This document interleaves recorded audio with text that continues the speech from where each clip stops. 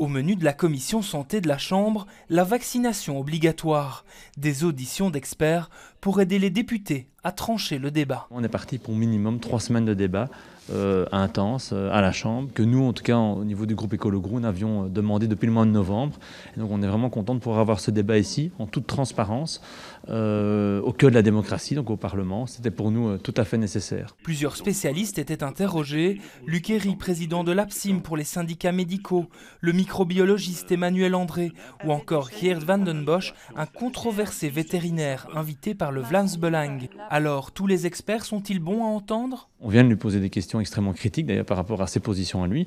Mais je pense que c'est normal de pouvoir effectivement accueillir euh, et respecter, euh, euh, je dirais, le souhait de tous les groupes politiques, même si je ne partage pas leur, leur a priori. Hein. J'ai écouté cinq minutes et puis j'ai vite enlevé mon oreillette parce que je trouve quand il n'y a pas de référence, quand ce sont des propos farfelus, euh, pour moi, ça n'a pas vraiment de valeur ajoutée dans ce débat.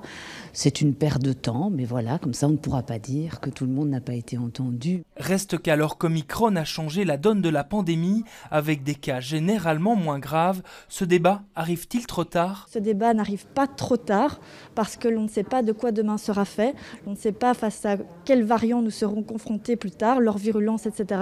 Et donc je pense que c'est important de pouvoir prévoir ce type de situation. Mais alors que Bruxelles reste reste nettement moins vaccinés que les autres régions, l'obligation vaccinale viendrait-elle sonner le glas de la sensibilisation? Ce n'est pas parce qu'on débat ici de l'obligation vaccinale que l'on doit... Euh, en tout cas, réduire nos efforts de conviction et de sensibilisation au niveau de la vaccination, en particulier à Bruxelles. Oui. Ces auditions se poursuivront dans les prochains jours. Au total, 32 spécialistes seront entendus.